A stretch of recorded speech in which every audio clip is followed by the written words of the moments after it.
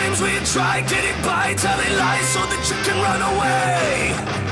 How many bridges you burn when you learn they return and come back another day?